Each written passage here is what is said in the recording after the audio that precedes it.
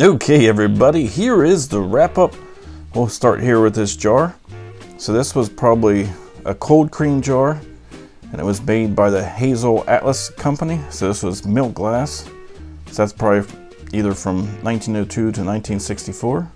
So that's a pretty old piece. It's the first time I've ever found a milk glass jar like that. The spoon, it was silver plated. And when we looked that up, that was from the 1920s. Um, this piece here, I have no idea what that piece was, guys. If anybody knows what that could have been off of, let me know. Um, oh, okay, and we got the, this one here is a thimble. That's definitely a thimble. And this here, I found this, I didn't record it, but must have been like a bell or something. So no idea what that could have been. Uh, there's that piece of glass. The only thing it said on it, reuse. So must have said do not reuse on it at one point in time.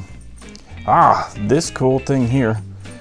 I, I had no clue what it was. But here it's some kind of little statue. There's two army men. This must be shooting some kind of bazooka or something. it says made in the USA on it, 791. So I'm not exactly sure what that would have been, but it is pretty cool.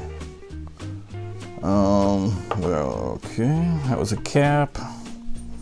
Uh, the buttons, this was a Cub Scout USA button. Whoops, so that's pretty cool. Uh, the two mining tickets.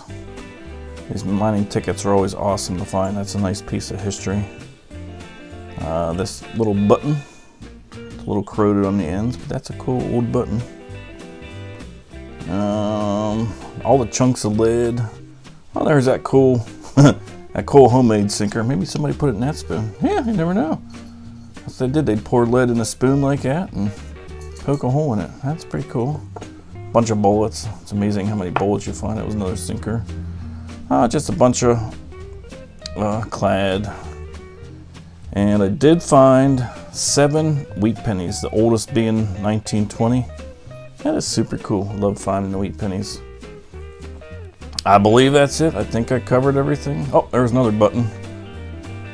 There was another.